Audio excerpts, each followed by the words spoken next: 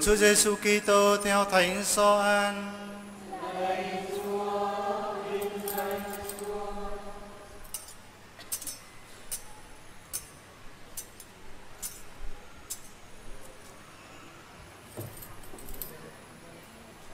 Khi ấy Đức Giêsu nói với người Do Thái rằng: Tôi là bánh hằng sống từ trời xuống, ai ăn bánh này sẽ được sống muôn đời. Và bánh tôi sẽ ban tặng chính là thịt tôi, để cho thế gian được sống. Người Do Thái liền tranh luận sôi nổi với nhau. Họ nói, làm sao ông này có thể cho chúng ta ăn thịt ông ta được? Đức Giêsu nói với họ, thật tôi bảo thật các ông, nếu các ông không ăn thịt và uống máu con người, các ông không có sự sống nơi mình. Ai ăn thịt và uống máu tôi thì được sống muôn đời, và tôi sẽ cho người ấy sống lại vào ngày sau hết. Vì thịt tôi thật là của ăn, và máu tôi thật là của uống.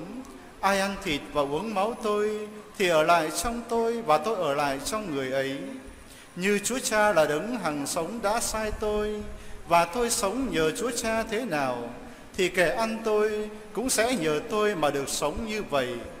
Đây là bánh từ trời xuống, không phải như bánh tổ tiên các ông đã ăn và họ đã chết.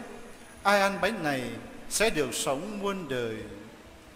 Đó là lời Chúa.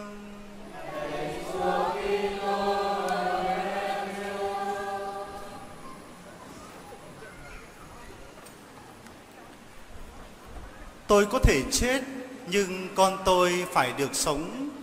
Đó là lời của chị Susanna khi được cứu khỏi trận động đất vào tháng 12 năm 1908 1987 tại Armenia. Trong số hàng trăm người cũng trong cơn động đất như vậy thì trong số những người đó được cứu sống có mẹ con chị Susanna. Sau khi trận động đất xảy ra thì ai cũng hoảng loạn chạy chỗ này chạy chỗ khác. Và rồi người thì bị nhà đè, người thì bị trôi giạt bằng cách này cách khác. Thì trong số đó có mẹ con chị Susanna. Khi nằm trong cánh, trong đống đổ nát của một ngôi nhà, thì những ngày sẽ có trôi qua. Người con 4 tuổi nói với mẹ rằng, mẹ ơi, con khát. Trong đống đổ nát thì làm sao tìm ra được nước cho con có thể uống? Người mẹ nghĩ được một cách rất táo bạo. Đó là tìm một vật nhọn nào đó để có thể làm đứt một ngón tay của mình cho đứa con, uống những dòng máu của mình, người mẹ, để có thể sống thêm những ngày tiếp theo. Khi được hỏi và được, khi được cứu và được hỏi chị tại sao chị táo bạo như vậy, thì chị trả lời, tôi biết rằng tôi sẽ chết, nhưng tôi hy vọng rằng con tôi sẽ sống. Vâng kính thưa cộng đoàn, đức kitô đến trần gian ngài hy vọng cho mỗi người chúng ta được sống và được sống không chỉ bằng thân xác này như bao nhiêu người mà còn phải được sống bằng chính linh hồn của chúng ta có nghĩa là con người chúng ta trọn vẹn cả xác và hồn. Chính vì vậy mà Chúa trao tặng cho chúng ta chính thân thể của Ngài. Và như tin mừng hôm nay cho chúng ta thấy, tôi là bánh hàng sống từ trời xuống, ai ăn bánh này sẽ được sống muôn đời. Vâng, kính thưa cộng đoàn, lời Chúa hôm nay cho chúng ta thấy Chúa ở lại với chúng ta bằng nhiều cách, nhưng cách quan trọng nhất đó là ở lại với chúng ta chính bằng tấm bánh và chén rượu trở thành thịnh thịt và máu Ngài. Mỗi người chúng ta đây là những người công giáo khi nói đến bánh và rượu trở thành thịt và máu Chúa Kitô thì chúng ta tin thật như vậy. Thế nhưng có những người tôn giáo bàn khi đến nhà thờ mà thấy linh mục đọc rằng đây là mình thầy, đây là máu thầy Chắc hẳn người ta không có thể chấp nhận được một tấm bánh lại có thể trở thành mình và máu một con người. Một chén rượu có thể trở thành những giọt máu ở đó để có thể nuôi dưỡng con người được. Chính dòng suy nghĩ đó thì tại một sứ đạo kia có nhiều người tôn giáo bàn. Và một lần kia một bậc thầy tôn giáo bàn muốn chất vấn một linh mục về bí tích thánh thể trước những người tin theo cả hai đạo. Trước tiên, bậc thầy đó hỏi Linh Mục rằng, Thưa Ngài, xin Ngài giải thích cho tôi, tại sao một Thiên Chúa to lớn như vậy lại có thể ở trong được một tấm bánh nhỏ xíu như thế? Linh Mục chậm rãi trả lời, Ông, Ngài và tôi đều nhìn thấy bầu trời, mặt trời, ngôi sao, nhiều ngôi nhà cao tầng, có thể nhìn thấy núi non biển cả. Thế nhưng tất cả những điều đó chỉ thu gọn trong cặp mắt của Ngài và của tôi. Tại sao cả một bầu trời rộng lớn như thế lại có thể thu gọn trong ánh mắt của Ngài mà tôi? Vậy tại sao một thiên chúa quyền năng lại không thể thu gọn chính bản thân của Ngài trong một tấm bánh nhỏ xíu như vậy? Bậc thầy không chịu, cũng hỏi thêm, Tại sao một thiên chúa lại có thể biến một, đến một thân mình trở thành một tấm bánh nhỏ xíu cho chúng ta chịu được có nghĩa là ngài là một thiên chúa tại sao có thể biến được thành một tấm bánh để nuôi dưỡng chúng ta?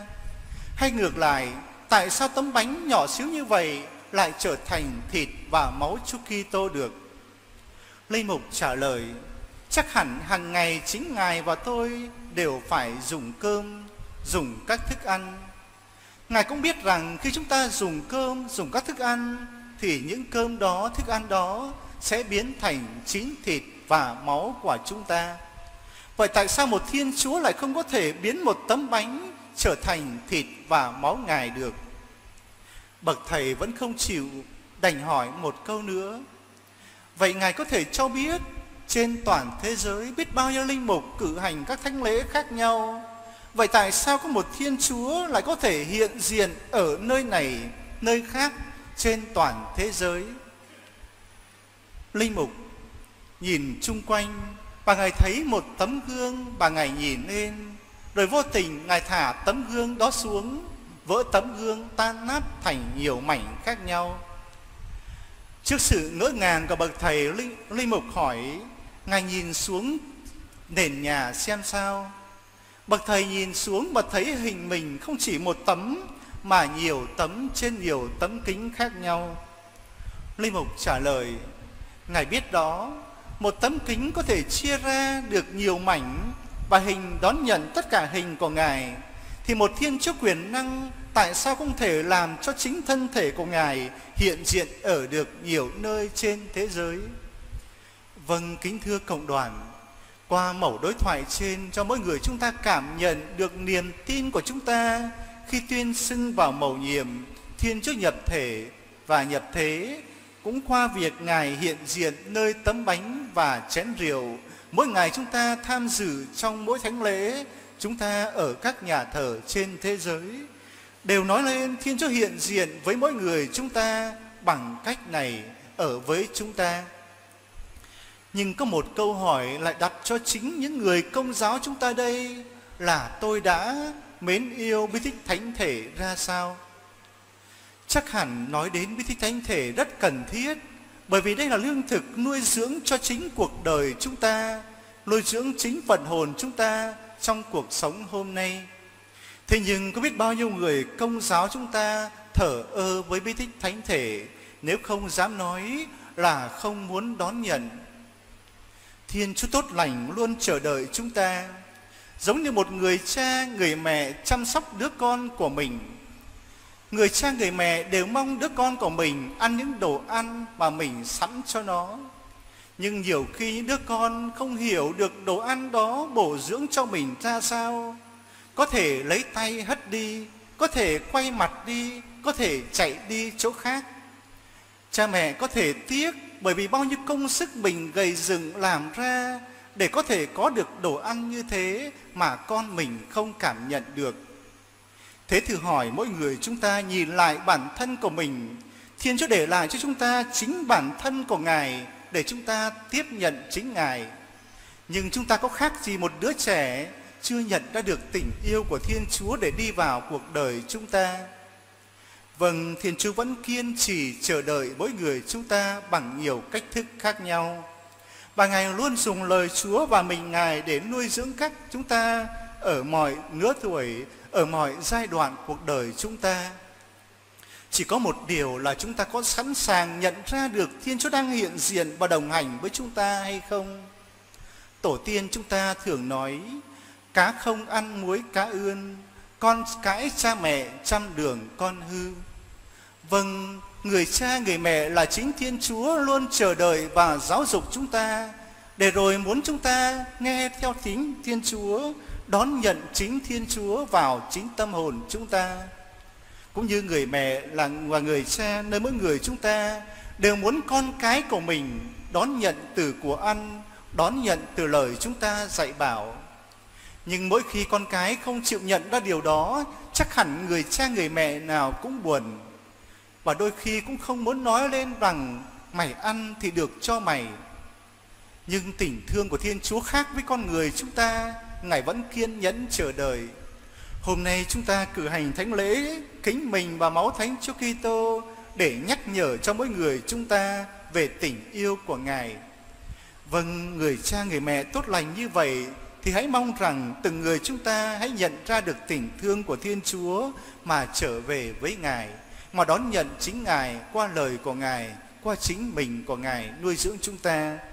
Chúng ta cũng xin lỗi Chúa vì bao lần chúng ta cũng giống như những người con chưa hiểu được ơn nghĩa của bí tích thánh thể nuôi dưỡng chúng ta, để rồi chúng ta nhận ra được tình thương đó và sống trong tình thương đó như người con nhận tình thương của Thiên Chúa. Amen.